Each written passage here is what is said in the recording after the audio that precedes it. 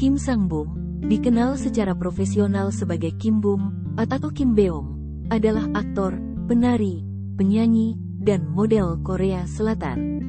Dia terkenal karena peran televisinya sebagai anggota F4 So Jung di Boys Over Flowers, 2009, Malaikat Pelindung Lee Goksu di Padam Padam, 2011, CEO Jahat Lee Rojon di Mrs. Cop 2, 2016, Blasteran Guminho Lirang dalam Tale of the Nine Tile, 2020, dan Han Jon Hui dalam Law School, 2021. Drama terbarunya di tahun 2022 adalah Ghost Doctor yang dimainkannya sebagai Koh Seng Tak, ahli bedah kardiotoraks tahun pertama.